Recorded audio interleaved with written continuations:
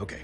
Well, sometimes when I get upset, I uh, have been known to uh, blow up. So, like, uh, like what? Like you get mad, you mean?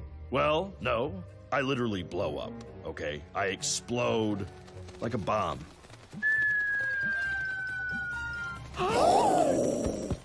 Hence the name.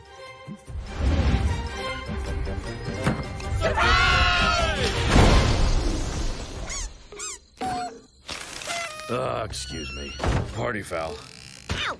I was sneaking into the museum because I was so touched when you all honored me with my statue. I wanted to make a donation from my own collection as a thank you. Could someone pull that cord? Lost Crown of the City of Secrets? Come on! What an incredible piece. Yeah, I studied the museum blueprint so I could sneak in and drop off the crown while the museum was closed. I guess I should have told someone about it, but I wanted the donation to be anonymous. My grandma always said it's important to be humble. No, don't aw. All right, he said he was going to add something out of this world to his collection, as in from space. Oh, that!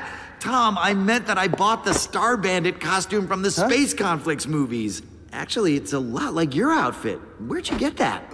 But I. You. Said I would destroy you and everyone you love. I hope you're happy with yourself, Rob. For the last time, my name is Rob. Wait, you got it right. Rob! What are you doing here? I came to rescue you!